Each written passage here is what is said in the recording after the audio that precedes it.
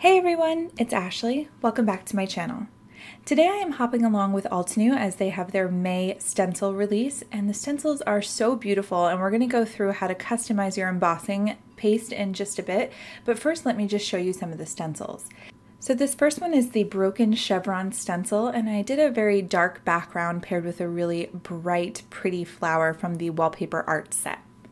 The next stencil I'm showing is the Deco Wonder stencil. I really love this design and it's very art deco, so I decided to use the new metallic gold ink and just do some ink blending, and I think that it looks really wonderful. It's really simple, but I'm getting a lot of great Gatsby vibes from this, and I really love the way that it looks with this design.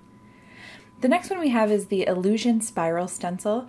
It reminded me a lot of a sun, and so I used some Nuvo Glimmer paste with it just to bring out some of the sparkle, and I offset it to the lower right hand side just to look like it was sort of radiating out from the corner like a sun, and I added the sentiment in a circle in the very center. The next one we have is the Ombre Stripe Stencil, and I actually don't have a personal project with this, but you can see the uh, one that they have here on the back. And next we have the Heart Builder stencil.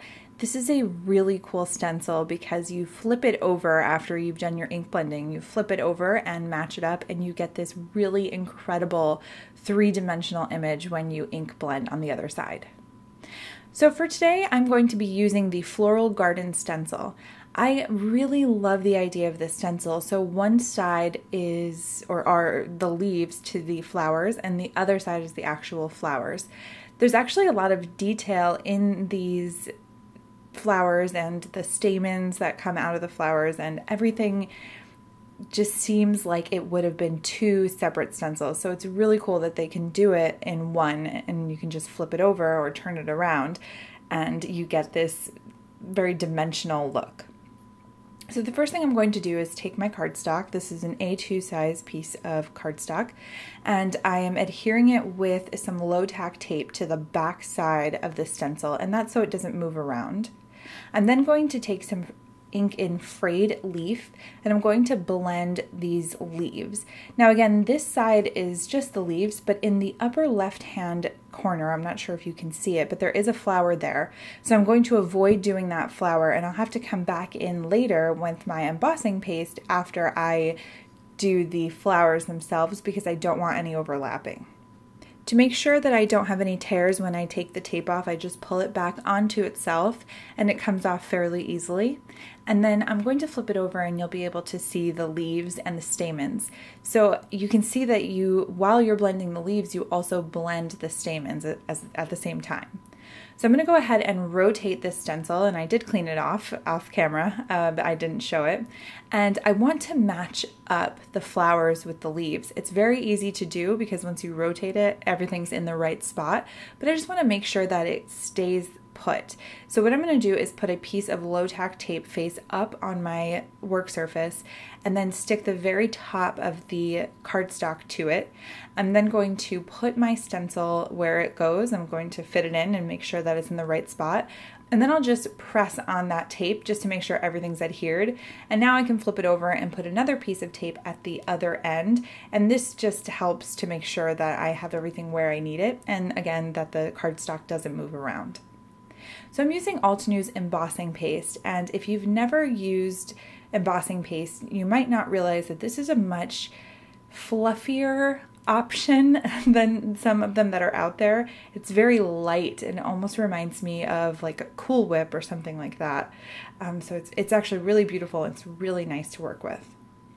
So obviously the paste is a white color and I want to customize it a little bit and make it the color that I would like it to be. So I'm going to pick Coral Berry ink and then I'm just going to put some of that ink on the white part of my glass mat just to be sure that I can see it. I'm then going to put the embossing paste right over it and just mix it in almost like a food coloring with whipped cream or something like that and it will color it and you can do this with any color and it's totally customizable. You could also add glitter if you wanted to or even combine inks to make your own color. So to get the embossing paste into those stenciled pieces, you're just going to take a bit, start at one end of the cardstock, and then with a very light hand and on a flat side of your a palette knife, you're just going to run the embossing paste down. I don't want to leave a lot of excess on there and I don't want to bunch it up because I don't want it to take forever to dry or be too textured. Just a nice thin layer. So now I'm just removing the cardstock from the underside of the stencil and you can see that it's just absolutely gorgeous. Now again, that top left hand corner, uh, the flower I need to go back in and do that after this is dry, but you can see how wonderful it comes out with all the texture and the color. I just absolutely love it. To create this card, I used some nested circle dies and used one size for the actual a stenciled card front and then I used the size up for the vellum that you see right behind it and I colored that in on the back side of the vellum with an Altenew marker just to give it a little bit of color.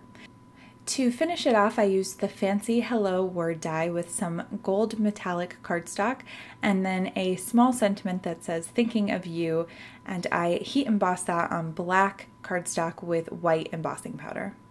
I hope that you've enjoyed the video and learned a little bit more about what you can do with your stencils and using embossing paste. All of the supplies used are linked in the description as well as the link to my blog where you can hop along with us and win lots of prizes. Thanks so much. I'll see you soon. Bye.